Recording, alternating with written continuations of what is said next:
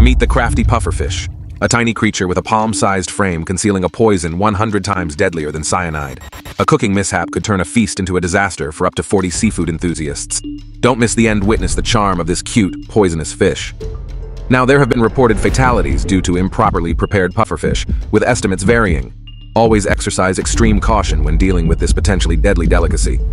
But there's more to the pufferfish than its lethal reputation. Sporting 14 fused teeth resembling a beak, these underwater artists crack open crustacean shells with finesse. And let's not forget their ability to inflate several times their size, projecting spines to ward off threats. In the realm of romance, male pufferfish showcase their dedication by crafting intricate sand nests on the seafloor to impress potential mates. Should a female remain unimpressed, she'll search for a more artistically gifted partner for her future offspring. What do you think?